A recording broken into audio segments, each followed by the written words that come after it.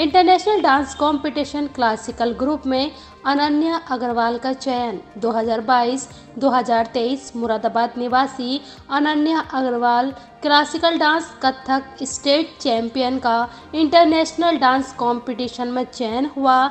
दो व तीन जून 2023 को होने वाले international dance competition classical group में मुरादाबाद निवासी अनन्या अग्रवाल काठमांडू नेपाल में प्रतिभाग करेंगी।